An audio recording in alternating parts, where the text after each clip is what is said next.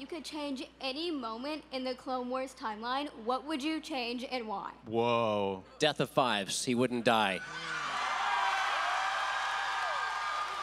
That's what I would change.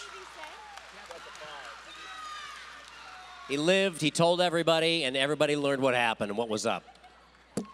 I think when I think when Anakin created C-3PO, uh, I wish we could redo that. He just sort of, just sort of bugs me.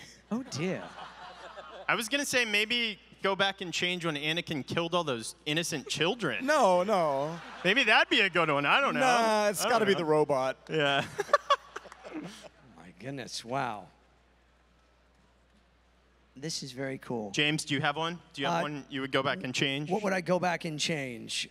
Yeah, I would have aimed higher with Darth Maul There you go. the first time. There you go, Just that's aim good. for the neck. That's good. Then he wouldn't have come back. How cool was it for Darth Maul to come back? Only George Lucas could come up with something like that. Yep. And how cool is Sam Witwer, uh, who is not here, I'm sorry, but uh, he's actually a really good guy in real life. He's not bad at all.